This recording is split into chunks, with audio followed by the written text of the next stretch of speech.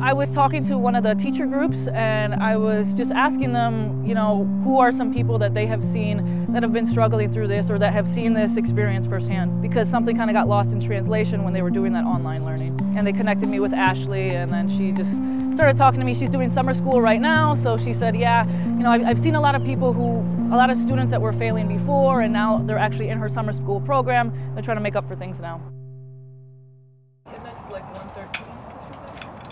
So I'm a teacher at Edgewater High School and I do 9th through 12th grade and I teach Algebra 2 and Pre-Calculus. Cool. So yeah, just to start off, tell me, you know, what was your experience going through the pandemic and online learning and how all of that kind of started now?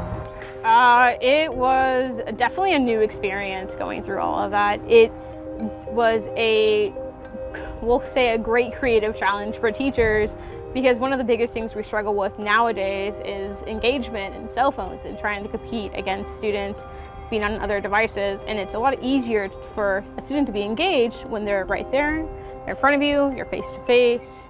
And how about like now that they're back, you know, in, in, in person after all of that, have you seen that there's been kind of a, a, a transition in their behavior? Yeah, they are still trying to build up, I guess, like the, the stamina of going to school for eight hours a day because they're used to, a lot of them would log in and go on, you know, Big Blue Button or Microsoft Teams or whatever platform they were using, log in, and sometimes they would go and try to fall back asleep or, you know, just like have a little bit more breaks, a little more unstructured breaks than what they're used to.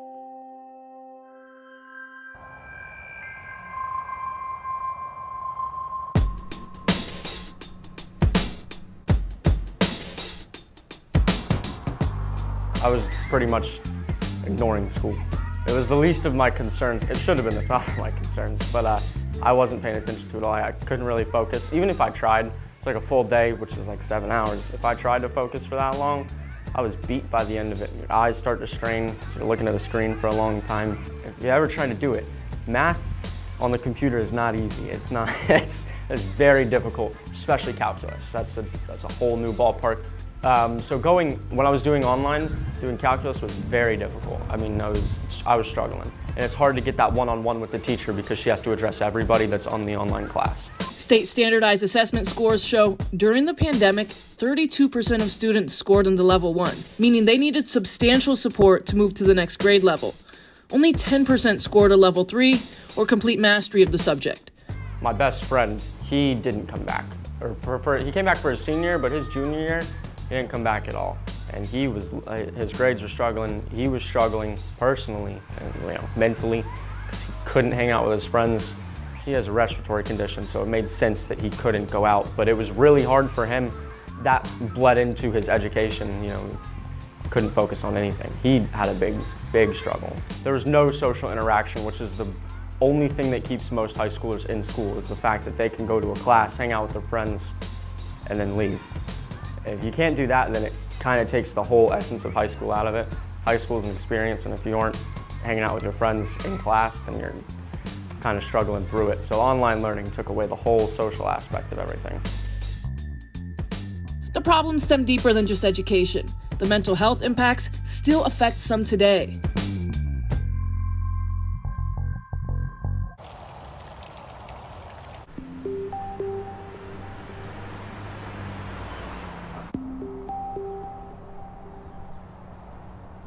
You know, we do have some kids in summer school right now making up for those for those losses, but I do think it's it's more than just an academic issue. It's, you know, an emotional issue as well. It's it's a lot, you know, especially with the economy going on. We have in high school we have kids who work because they have to work.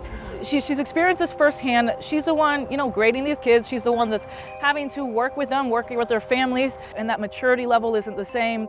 Uh, my freshmen coming in are like, I'm like, are you guys? You're 14. Yeah. You're acting like you're 11. Like it's uh -huh. it's okay, you know. She told me today I'm receiving less and less parent emails right now because they are finally working through things and they're trying to rework their plans because they're seeing that there are spots missing.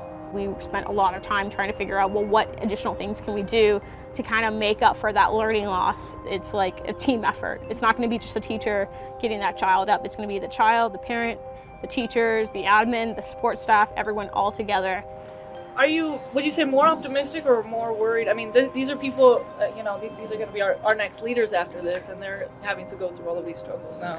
I think they're going to be okay. I think uh, they're they're pretty resilient.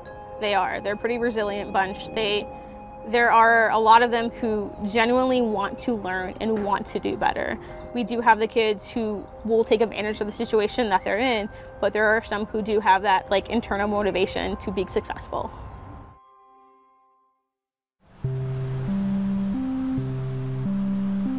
so we just got the numbers from the Florida Department of Education, and it looks like it's the same trend that we have been seeing throughout this entire story. Looks like here for math, we have 21%. A couple years ago, well, it went back up to 30, and it looks like just like Ashley Modesto was talking about, they're going back down to 27%, and they're still trying to fill that gap to help these kids.